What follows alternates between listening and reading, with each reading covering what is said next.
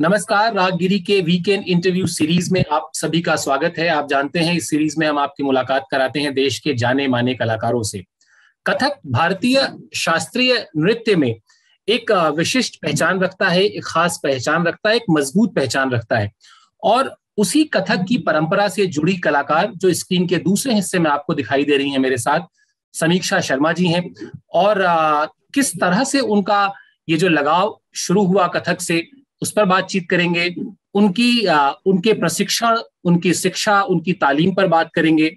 Corona की चुनौतियों में कैसे उन्होंने कथक को अपने साधे रखा उस पर बातचीत करेंगे। लेकिन सबसे पहले समीक्षा जी बहुत बहुत स्वागत है आपका। हम्म, नमस्कार शिवेन जी। तो मैंने अभी जो आपके परिचय में सबसे आखिर में कहा दरअसल मैं शुरुआत वहीं से करता हूँ कि बीता जो दो साल है वो दो साल लगभग हो गया वो पूरी दुनिया के लिए अच्छा नहीं रहा। हम सबने अपने परिजनों को, अपने दोस्तों को, मित्रों को खोया, परेशान देखा। लेकिन जब भी मैं किसी कलाकार से बात करता हूँ और उससे ये प्रश्न पूछता हूँ कि उनके लिए ये समय कितना चुनौती भरा था तो एक पॉजिटिव चीज़ समझ में आती है कि चाहे वो संगीत हो, चाहे वो नृत्य हो, चाहे कोई वाद्य यंत्र हो, उससे जो जुड़े कलाकार हैं, उनको एक स्वतः स्फूर्ति मिलती है, एक एक ताकत मिलती है कि वो इस तरह की परेशानियों से लड़ाई लड़ सकें। आपका तजुर्बा कैसा रहा? आपने कैसे इस इस, इस समय को काटा है ये बताइए हमें। जब कोरोना काल शुरू हुआ था तो एकदम से सब कुछ बंद हो गया था। कथक केंद्र में बिल्कुल क्लासेस बंद कोई स्टूडेंट नहीं सारे प्रोग्राम्स बंद। तो समय तो वाकई शुरुआत में बहुत मुश्किल लगा पर कहते हैं ना कि धीरे धीरे आप परिस्थितियों के साथ खुद को ढाल लेते हैं। तो मुझे लगता है कि हम कलाकारों ने सबसे ज़्यादा जल्दी उस चीज़ को ढाल लिया क्योंकि कला आपको सिखाती ही आत्मबोध है। तो हमने तुरंत ही उन सब चीज़ों के साथ कॉप अप कर लिया। तो ऑनलाइन चीज़ें शुरू हो गई। दूसरा, हमें स्वयं के अध्ययन करने के लिए मुझे लगता है सभी कलाकारों को, जिन जिन से भी मेरी बातचीत हुई, बहुत ज़्यादा समय मिला। क्योंकि रोज की भाग दौड़ में आप अपना रियाज तो करते हो, पर उस रियाज को बहुत ज़्यादा महसूस करने के लिए मतलब अगर आप चाहते हैं कि आप सुबह से शाम तक सिर्फ़ रियाज ही करें तो मुझे लगता है इससे अच्छा टाइम मेरे जीवन में कोई और नहीं था कि कोरोना में मुझे जो समय दिया कि सुबह से शाम तक सिर्फ़ आप अपना रियाज में ही घूम रहे हो, उसी को सोच रहे हो, कहीं बाहर नहीं जाना, कुछ नहीं करना। तो ये चीज़ बहुत ज़्यादा पॉजिटिव रही और ऑनलाइन चीज़ों से हम जुड़ गए। मैं एग्ज़ाम्पल देना चाहूँगी, मेरे भाई है जो यूएस में रह रहा है, उसकी बिटिया है तो बड़ा दुखी होती थी कि हम बुआ से कैसे सीखें, पर अब वो सीख रही है और उससे कोरोना में ही उसने सीखना शुरू किया और ऑनलाइन अब अब तक सीख रही है और उसके रिज़ल्ट भी काफ़ी अच्छे अच्छा समीक्षा, अब हम शुरू करते हैं एकदम परंपरागत तरीका जो होता है किसी कलाकार से बातचीत करने का, उसके संगीत सफ़र को समझने का। बचपन से शुरू करते हैं। तो आपकी पृष्ठभूमि जो है उसमें, चूँकि मैं जानता हूँ कि आपकी माता जी का थोड़ा बहुत लगाव थिएटर से था लेकिन इस तरह से कोई नृत्य या संगीत की ऐसी कोई पृष्ठभूमि नहीं थी परिवार में। वहाँ पर एक बच्चे के अंदर नृत्य करना है ये बीज कैसे फूटे किस तरह से शुरुआत हुई क्या कुछ याद आता है? आ, मतलब माँ तो ये कहती है कि मैंने शायद चलने से पहले डांस करना शुरू कर दिया था। मुझे इतना पसंद था नाच। तो क्योंकि पहले का माहौल शायद शिवेंद्र आपको पता हो आप भी इलाहाबाद से हैं। कि गली मोहल्लों में ना भजन भजन होने का एक ट्रेंड था कि हर संडे को या हर सैटरडे को एक सारे लोग मिल जाते थे मोहल्ले के और वो गाना बजाना और नाचना शुरू होता था। तो वो माहौल मुझे मिला और हमेशा हर जगह, अरे, प्रीति, खड़े हो जाओ, नाचो। तो नाच कहीं अंदर से आता था। मतलब मुझे नहीं मालूम था मैं क्यों नाचती हूँ, क्यों मुझे इन भजनों पे इतना नाच करना इतना अच्छा लगता है या मुझे ये संगीत बहुत आकर्षित करता है, नहीं मुझे मालूम था, पर मैं करती थी। फिर करते करते धीरे धीरे जैसे बड़े हुए, समझ आने लगा, तब लगा कि नहीं, ये कुछ और ही है जो मैं चाहती हूँ अंदर से। मतलब कुछ ऐसा मूवमेंट है, कुछ बॉडी का ऐसा चीज़ है जो अंदर से अपने आप प्रस्फुटित होती है और उसको मुझे पकड़ कर रखना है। तो फिर घर के पास ही एक इंस्टीट्यूशन था। वहाँ पर हमने डांस देखा कि हो रहा है कथक जैसा कुछ। तो वहाँ पे एडमिशन ले लिया और सीखना शुरू किया साथ साथ और आगे बढ़ते रहे। तो बचपन में डांस तो एक चीज़ हो गई लेकिन बचपन की शरारतें क्या होती थी? मतलब सिर्फ़ डांस तो नहीं किया होगा कुछ तो शरारतें भी करते होंगे या बहुत सिंसियर बहुत एकदम अच्छे गुड गर्ल टाइप के बच्ची थी आप? कैसी थी आज? कैसे याद करती हैं कि मतलब कभी डांट माट पड़ती थी क्या? बचपन में बताऊँ मेरे दो भाई थे तो मेरे बचपन का जो टाइम था वो बहुत ही आ, मतलब लड़कों की तरह रहने में बीतता है। दोनों भाई थे तो भाइयों के साथ जो हम शैतानी करते थे कि दूसरे लड़कों की पिटाइयाँ भी लगाई है चार चार और मोहल्ले में साइकिल चलाना और इधर उधर वो जो माहौल अलग ही था पुराने समय का, मुझे तो लगता है अभी मैं अपनी बिटिया को देखती हूँ तो हमें लगता है इन लोगों ने बहुत कुछ मिस कर दिया। ये वो समय, इनको पता ही नहीं कि पड़ोस में जाके दिन दिन भर पड़े रहना, खाना खाना, सो जाना क्या होता है। हम लोग तो भेज नहीं सकते आजकल पड़ोस में, कहाँ ये माहौल तो बचपन में शरारतें भी बहुत करती थी और भाई भी बहुत शरारती थे तो उनका भी साथ मिलता था हम लोग को शरारतें करने में। और सिंसियर टाइप तो मैं बहुत थी मतलब जो ठान लिया, सो ठान लिया। वो चाहे किसी भी दृष्टि में हो, इसके मैं एक उदाहरण दूँगी कि भाई ने साइकिल चलाना सीखा और आगे बोला, दीदी, मैंने सीख लिया। मैंने कहा, मैं भी आज ही सीखूँगी। तो वो साइकिल ली गई किराए पे और दो घंटे के अंदर दोनों घुटने लहू लुहान हो गए, पर साइकिल चलाना उसी समय सीखा, दो घंटे के अंदर। तो एक ज़रूर हमेशा से किसी भी काम को करने का रहा। समीक्षा ने कहा तो मुझे याद आया और मुझे लगता है कि सब्सक्राइबर्स जो यंग हैं, एकदम जो 18-20 साल के होंगे, उनको बताना ज़रूरी है कि जो हम लोग का दौर था, उसमें किराए पर साइकिल भी मिलती थी और पच्चीस पैसे, पचास पैसे में घंटे के लिए मिलती थी और वो हम लोग किराए पर साइकिल लेके और निकल जाते थे, तब कोई हाइजीन का इशू नहीं होता था, कोई धूल मिट्टी का डर नहीं था। तो वो दिन हमारा बचपन अलग था। समीक्षा, लेकिन अभी आपने ये हिंट भी किया और मैं इसी पर एक गंभीर प्रश्न पर आने जा रहा था। आपने कहा बहुत हठी है। हठी इन देंस पॉजिटिव सेंस में अगर बात की जाए। कथक को जब आपने तय किया कि एक प्रोफेशनल तरीके से सीखना है, ये इतना आसान नहीं रहा होगा, क्योंकि परिवार में ज़रूर कोई ना कोई रहा होगा जिसने कहा होगा, कहाँ बेटी को कथक सिखाओगे? पढ़ा दो इंजीनियर बना दो डॉक्टर बना दो। परिवार से बाहर किसी ने ज़रूर ये बात कही होगी। आ, हो सकता है माता पिता ने में भी किसी ने आके कहा हो कि दोबारा सोच लो तिबारा सोच लो। वो जो दौर था कि नहीं मुझे कथक ही सीखना है वो कैसा समय था आपके लिए? शिवेंद्र ऐसा था कि छोटे शहरों की बात अलग होती है। लड़की को बीए करा दो एमए करा दो और शादी कर दो। तो हम भी उसी पृष्ठभूमि से आते हैं। तो पॉलिटिकल साइंस में एमए किया यूनिवर्सिटी टॉप किया उस समय। तो सबका ये प्रेशर था कि अब इसकी शादी कर दो। तो बेसिकली उस समय तक भी ये बहुत निर्णय नहीं कर पाए थे कि नृत्य ही करना है और कथक ही करना है और कथक नृत्यांगना ही बनना है। पर हमारा जो कॉलेज था कि आरजी कॉलेज से हमारी पढ़ाई हुई, वहाँ पे जितनी भी सांस्कृतिक गतिविधि होती थी, हम उस बहुत खुशकिस्मत है कि हम वहाँ पे सेंटर ऑफ़ अट्रैक्शन मतलब बिल्कुल केंद्रीय ध्यान हमारे ऊपर रहता था सभी का, कि समीक्षा आप क्या करेंगी, चाहे वो सोलो परफॉर्मेंस में हो, चाहे वो ग्रुप परफॉर्मेंसेस में हो। तो वहाँ पे जो प्रोफेसर वगैरह थे, उनका ध्यान हमारी ओर आकर्षित हुआ। तो उन्हीं में से एक मैडम थी दीपा पांडे मैडम। जब पास आउट हुए ना, बिल्कुल एम ए फाइनल था, हमारी फेयरवेल हो गई। तो दीपा मैम ने कहा कि तुम्हें तो डांस ही करना चाहिए, कथा केंद्र जाओ दिल्ली। तब निर्णय किया कि बस, अब मिल गया क्लू कि आगे क्या करना है। जबकि एमए के बाद तो अधिकतर ये होता है कि शादी कर ली जाए।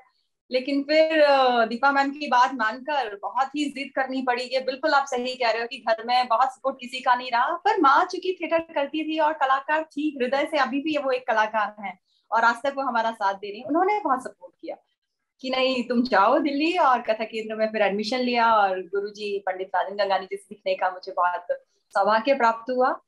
और उसके बाद जब कथा केंद्र आ गए, उसके बाद का समय भी बहुत आसान नहीं था, क्योंकि यहाँ पर आकर पता चला रहे जो हम करते थे, हम वहाँ पर जो एकदम हीरो बने हुए थे, यहाँ पर तो बिल्कुल ज़ीरो से शुरू करना पड़ेगा। तो वापस से वो सारी चीज़ें कोशिश की और मुझे लगता है कि जब मैं पास आउट हुई तो मुझे एक मन में संतुष्टि थी, संतोष था कि हाँ जो मैं सोच कर आई थी, वो पास आउट होने तक मैंने थोड़ा तो अचीव कर लिया। अच्छा समीक्षा कई बार ऐसा होता है, मैं, आप जानती हैं, बहुत वर्ष बरसों से क्रिकेट कवर कर रहा हूँ। तो हम ये तो जानते हैं कि भारतीय क्रिकेट टीम के कोच रवि शास्त्री हैं। जैसे आपने अभी पंडित राजेंद्र गंगानी जी का नाम लिया उन पर हम विस्तार से बातचीत भी करेंगे। लेकिन मुझे लगता है कि जब इस तरह से बातचीत हो तो कथक केंद्र आने से पहले जिन गुरुओं ने आपको एबीसीडी बताया कथक का उनके बारे में बताया उनको भी ज़रूर याद करना चाहिए आपको। हम्म, नहीं ज़रूर मैं हमेशा याद करती हूँ। और जैसे मैंने बताया, घर के पास जो मेरा म्यूज़िक कॉलेज था, जहाँ पे मैंने सबसे पहले शिक्षा प्राप्त की, वहाँ पर मृदुस्वरा भागवत एक मैम होती थी। तो उनसे मैंने नृत्य की शिक्षा लेना प्रारंभ किया। और उसके बाद ग्वालियर के ही बहुत जाने माने गुरु हैं, पंडित गुरु श्री पुरुषोत्तम नायक जी। उनसे मैंने वहाँ पर नृत्य शिक्षा ली और वो मुझे लगता है उन्होंने नींव कुछ ऐसी रखी जो यहाँ की शैली, जयपुर घराने की शैली और वहाँ, वो कहते थे कि ये तो मैं ग्वालियर घराने का नृत्य है। हालाँकि ग्वालियर घराना इतना अप्रूव नहीं है, अभी तक कोई नहीं जानता कि ग्वालियर घराने का नृत्य भी होता है, पर नायक गुरु जी ऐसा कहते थे। और जो उनकी शैली थी, वो पूरी पखावजी अंग से मतलब वो उद्धव सिंह के घराने से उन्होंने पढ़ने वगैरह सीखी थी और उसको वो नृत्य में हस्तक के तौर पर करते थे। और गुरु जी के बारे में मैं एक बात कहूँगी, जो ग्वालियर में गुरु जी थे मतलब सभी कलाओं में वो पारंगत थे। वो उतना ही श्रेष्ठ गाते थे, उतना ही अच्छा बजाते थे तबला और पेंटिंग भी उतनी अच्छी करते थे, साहित्य की रचना भी करते थे। बहुत सारी पन्नों की उन्होंने रचना की, उस पर भी उनकी बिटिया रिसर्च भी कर रही है पीएचडी भी, शोध कार्य भी कर रही है। तो बहुत सारी चीज़ें मतलब जो मुझे लगता है बहुत बहुत ज़्यादा मैं लकी रही उस मामले में कि मेरी जो प्रारंभिक शिक्षा थी, वो भी बहुत अच्छे से हुई। मतलब मृदुसोना मैम बहुत उन्होंने टेक्निकल चीज़ें नहीं सिखाई, पर उन्होंने डांस को एंजॉय करना सिखाया। छोटे छोटे कवित्व छोटे बच्चों को कैसे डांस में इन्वॉल्व रखें। तो अभी तक भी मैं जब कभी छोटे बच्चों को सिखाती हूँ तो मैं वही ट्रिक फॉलो करती हूँ कि छोटे बच्चों को सिर्फ़ मज़ा आना चाहिए, उन्हें सिर्फ़ मस्ती मिलना चाहिए डांस में। फिर नायक गुरु जी के पास जो एजुकेशन हुआ, वो अभी अभी तक काम आता है। वो पढ़ने, वो जो उनका एक स्टाइल डिफरेंट था, और बंदिश है या पैरों का कुछ काम, कायदा करना, वो सब चीज़ें ग्वालियर में गुरु जी से सीखी। फिर यहाँ पर आकर एक डांस को दिल्ली का डांस तो सभी को पता है किस तरह, बहुत स्टाइल इतना सुंदर और इतना बारीकी से हर चीज़ पे काम किया जाता है। क्योंकि हम लोग तो वहाँ पे नहीं समझ पाते उन चीज़ों को कि अगर आपने एक हस्तक का प्रैक्टिस करना है तो वो कितनी देर करना है। बस कर लिया एक घंटे क्लास और खत्म। पर यहाँ पे आके पता चलता है, नहीं, अगर आपको हाथ भी ऐसे रखना है तो वो बहुत देर तक ऐसे रखकर बहुत समय लगेगा उसमें। मतलब एक दो हफ़्ते तक आपको एक ही मूवमेंट पे काम करना पड़ेगा। तो ये शिक्षा का एक अंतर मुझे लगता है समझ में आया मुझे कि बचपन से लेके कैसे कैसे मेरा एजुकेशन डांस में हुआ। और वो सब अपने आप हुआ मतलब मैंने कुछ सोच के नहीं किया, पर वो बहुत वर्सेटाइल रहा और बहुत अच्छा रहा मेरे लिए। अच्छा समीक्षा, अब हम आगे बढ़े हैं और राजेंद्र जी के बारे में बात करें और कथक केंद्र के दिनों में बात करें, उससे पहले आपसे गुजारिश करूँगा कि जो हमारे सब्सक्राइबर्स आपकी बातचीत सुन रहे हैं, उनको अपने किसी कार्यक्रम की कुछ झलकियाँ भी दिखाएँ ताकि वो आपको नृत्य करते भी देख सकें।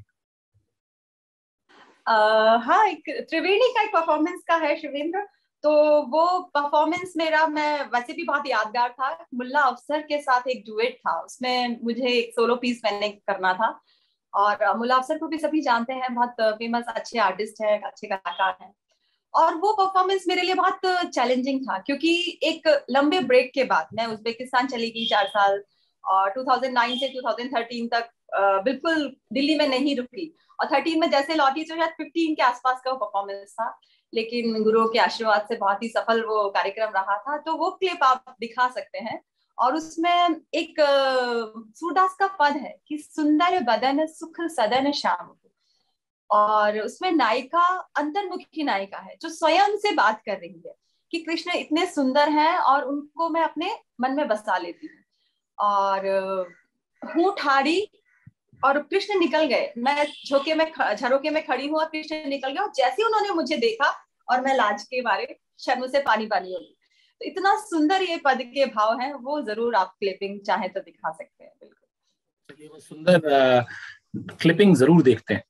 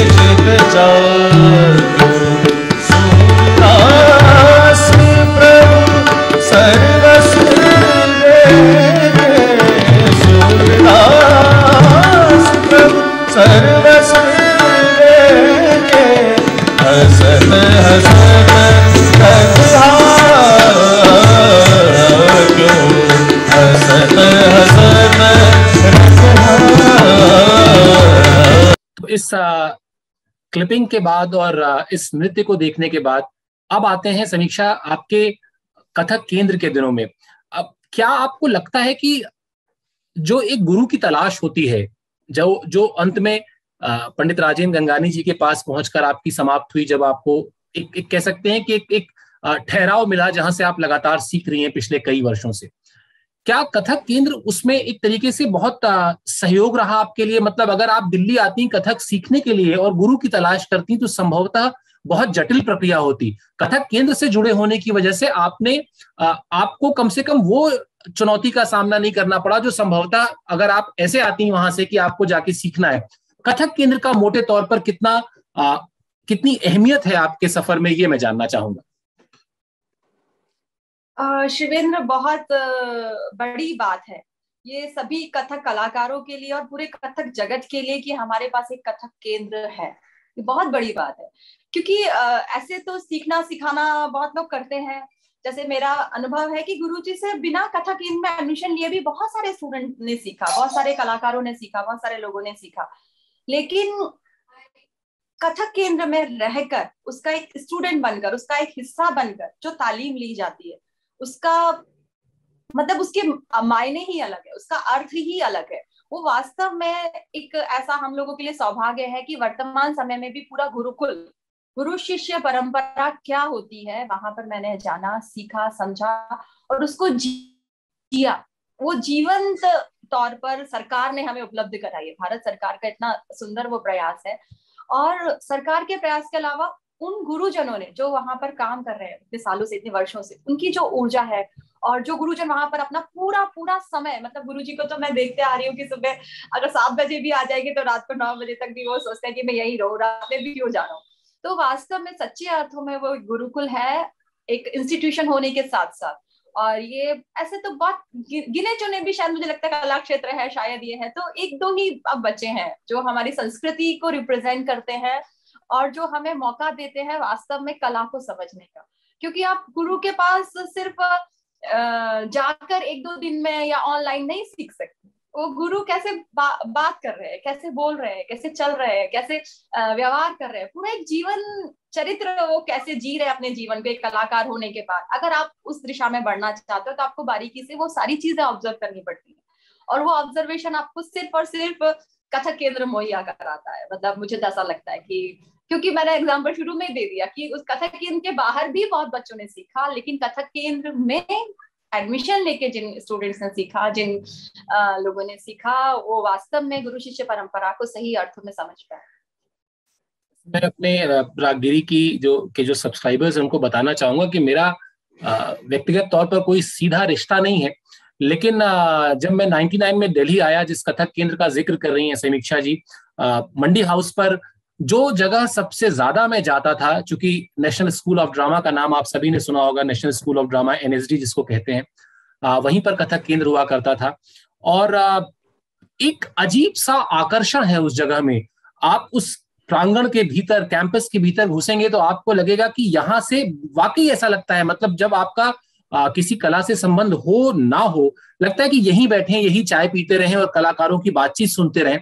तो वो माहौल तो वाकई बहुत विशिष्ट, बहुत खास रहता है। बाद में हालाँकि कथक केंद्र शिफ्ट हो गया चाणक्यपुरी लेकिन जैसा समीक्षा ने कहा कि एक संस्थान के भीतर रहकर एक गुरु से सीखना बिल्कुल अलग होता है। अब आते हैं समीक्षा, संभवतः आपके फेवरेट पॉइंट पर, क्योंकि गुरु जी के बारे में आपके पास बोलने के लिए बहुत कुछ रहता है और आप बहुत उत्साहित भी हैं उनको लेकर। क्योंकि उनसे मेरे भी बहुत व्यक्तिगत संबंध है, बहुत स्नेह रहा है उनका मेरे को लेकर रागिरी को लेकर।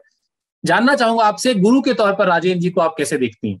मुझे तो लगता है कि गुरु शब्द का जो अर्थ है मतलब वो मैंने शायद बाद में थ्योरिटिकल पढ़ा, उसका सिद्धांत बाद में समझा और प्रायोगिक तौर पर मैंने गुरु जी को समझा। वो मेरे लिए बहुत बड़ी बात है, क्योंकि गुरु जी का जो एक स्वाभाविक तरीका है ज्ञान को देने का मतलब वो कब बातों बातों में आपको कुछ सिखा दे आपको पता ही नहीं चलेगा।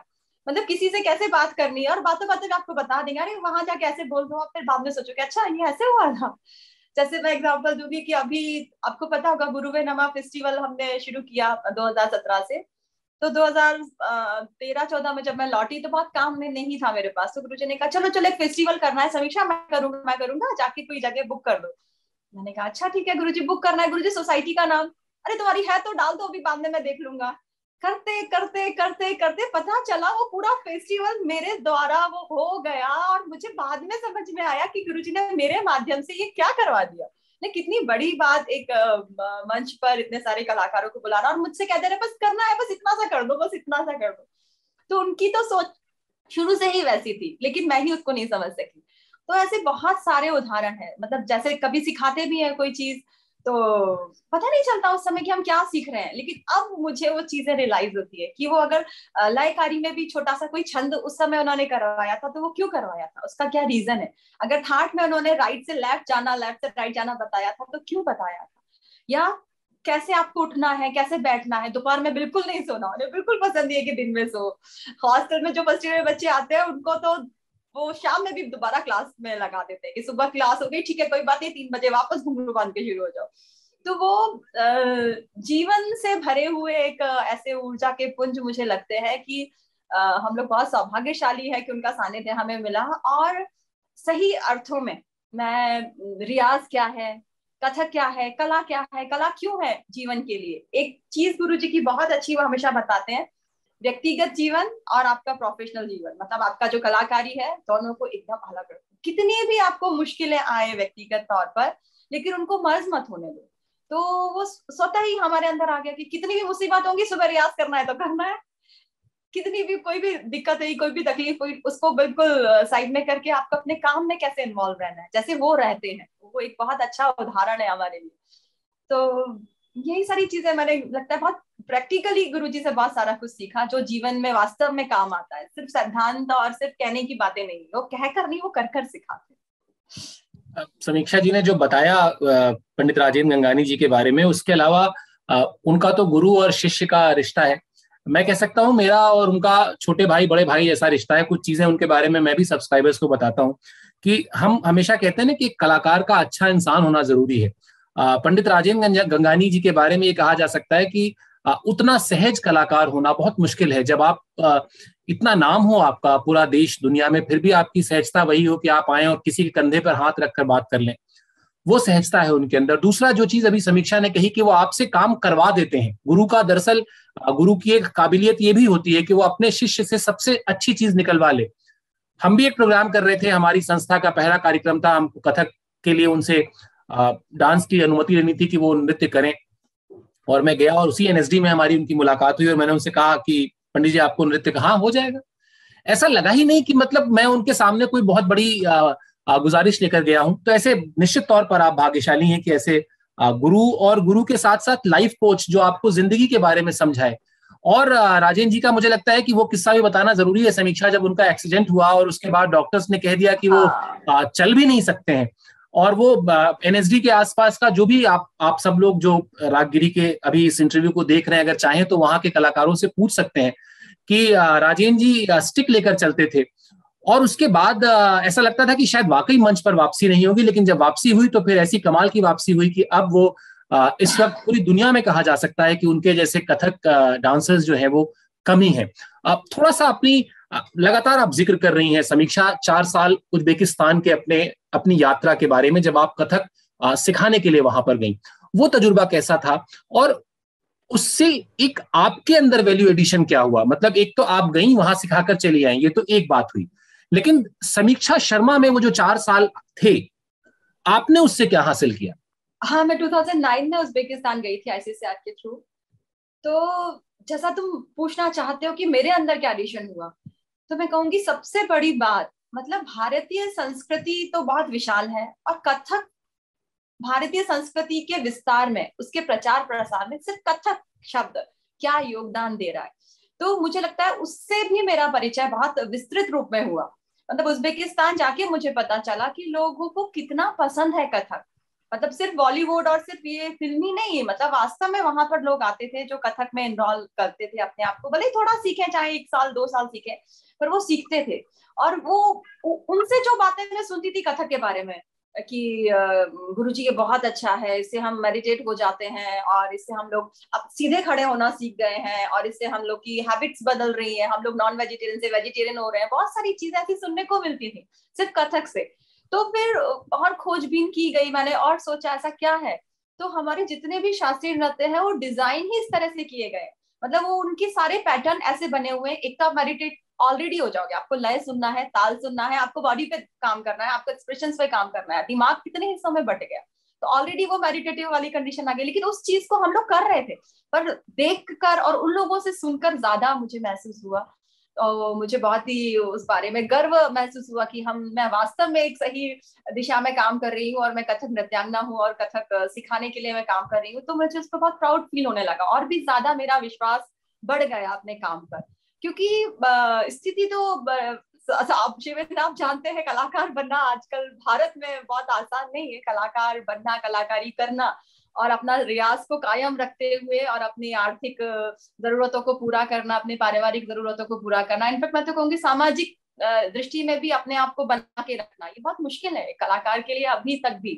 तो वो सब चीज़ों से मुझे लग रहा है मैं एकदम से बाहर आ गई। मतलब मुझे बहुत ही गर्व महसूस हुआ कि मैंने एक तो एम्बेसी में काम किया, इतने सारे लोगों के बीच में काम किया, इतने सारे स्टूडेंट बनाए और उसके बाद मेरे पास एक विषय भी वहाँ से मैं लेकर आई उज्बेक डांस। तो उज्बेक डांस और कथक में मैंने फिर रिसर्च वर्क भी किया, मेरा पीएचडी कंप्लीट हुआ डॉक्टर पूर्णिमा पांडे के अंडर में। तो उज्बेक डांस जो था, वहाँ पे भी तीन क्लासिकल चीज़ें हैं, तीन जैसे हमारे घराने होते हैं, उस डांस के भी तीन स्टाइल्स हैं। और वो भी जयपुर, लखनऊ, बनारस वैसे वैसे सिमिलर है।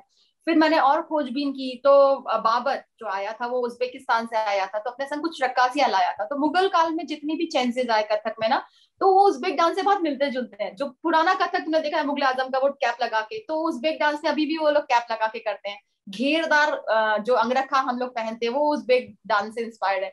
तो वो पूरा ज़िक्र मैंने अपने रिसर्च वर्क में किया है। तो बहुत सारी चीज़ें मैं वहाँ से लेकर आई, और जिसको मुझे लगता है मैंने बहुत ही अच्छे तरीके से उनको गुरु जी के आशीर्वाद से, क्योंकि गुरु जी को बताया गुरु जी मैं ऐसे ऐसे रिसर्च करना चाहती हूँ। हाँ हाँ करो ना, क्यों नहीं होगा? बिल्कुल होगा। तो वो सारी चीज़ें फिर बहुत एड ऑन हुई मेरे अंदर, मेरे व्यक्तित्व के अंदर। वहाँ तो मैं जो योगदान देकर आई जो शायद टू थर्टी सेवन के करीब मेरे स्टूडेंट वहाँ पर एनरोल्ड हुए। और गई मैं दो साल के लिए थी, फिर एक साल एक्सटेंड हुआ, फिर विषय तो काम बहुत अच्छा लगा तो एक साल और उन्होंने एक्सटेंड कर दिया। तो इस तरह से पूरे चार साल में रहकर आई और बहुत कुछ सीखा भी और सिखाया आप 2015 के उस कार्यक्रम का जिस, जिसकी एक झलक हमने थोड़ी देर पहले देखी थी, उसकी कोई और झलक आप हमें दिखाना चाहेंगी क्या? और उसके बारे में कुछ बता भी दीजिए पहले। हाँ वो तुम अगर वो क्लिप देखोगे तो उसमें क्लियर मैंने बोला हुआ है कि कुछ बंदिशें सपनों के जैसी होती है। वो एक लाइन मैंने क्लियर बोली हुई है। क्योंकि जब हम स्टूडेंट होते हैं ना, तब गुरुजी ऐसी चीज़ें, मैंने बताया, गुरुजी को तो पता है, भविष्य देखते हैं शायद वो कि ये आगे क्या करेंगे। तो ऐसी मुश्किल मुश्किल चीज़ें हमें दे देते थे कि हमसे वो तब चाह कर भी की नहीं जाती थी। तो बहुत सालों तक उसको रियाज करके जब मैंने 2015 में वो एक लट्टू की परन है तो वो जब मैंने परफॉर्म की तो मैंने यही बोला कि कुछ बंदिशें सपनों के जैसी होती वो मेरा एक इतना सुंदर सपना था कि कभी मैं इस बंदिश को जैसा मैं सोचती हूँ, वैसा करूँ। तो ईश्वर की दया है कि बिल्कुल जैसा मैंने सोचा वैसा हुआ और लोगों का बहुत एप्रिसिएशन मिला और बहुत पसंद की गई वो बंदिश। बंदिशें सपनों की जैसी होती हैं। ये जो बंदिश मैं प्रस्तुत कर रही हूँ, मेरे लिए एक बहुत सुंदर सपना है। देखते हैं कितना पूरा होता है।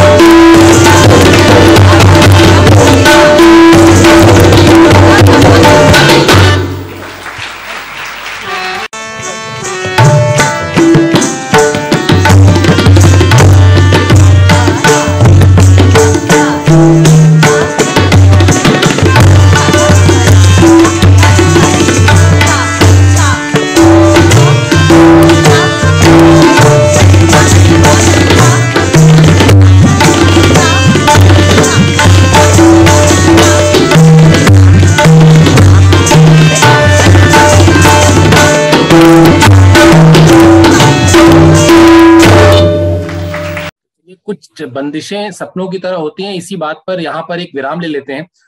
एक ब्रेक ले रहे हैं और कल ठीक रात दस बजे फिर हाजिर होंगे और फिर बातचीत करेंगे समीक्षा जी से इस इंटरव्यू के दूसरे हिस्से में। उसमें बातचीत करेंगे कथक के लिए जब वो आ, कोई चीज़ पिक करती हैं तो उसका साहित्य कहाँ से चुनती हैं किन बातों का ध्यान रखती हैं और साथ ही साथ बातचीत करेंगे उनके कुछ कार्यक्रमों पर। कल एक बार फिर हमारे साथ जुड़िएगा।